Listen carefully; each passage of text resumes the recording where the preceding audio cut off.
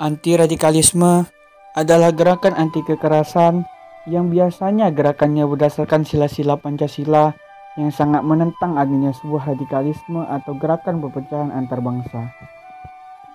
Radikalisme dapat berkembang karena adanya pemikiran bahwa segala sesuatu harus dikembalikan ke agama, walaupun dengan cara yang kaku dan menggunakan kekerasan.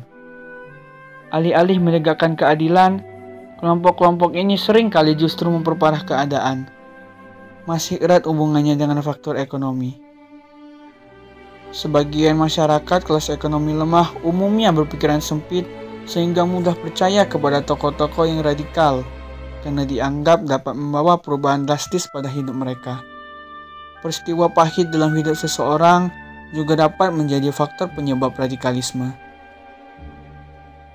Sebenarnya, radikalisme bisa ditindak kalau kita, sebagai bangsa Indonesia, mau saling percaya satu sama lain, saling toleransi.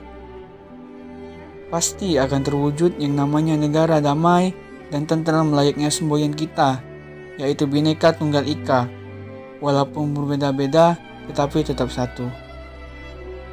Indonesia merupakan negara yang besar dengan berbagai macam perbedaan ras, budaya, dan agama. Sangat mudah untuk pihak-pihak tertentu memanfaatkannya untuk kepentingan pribadi.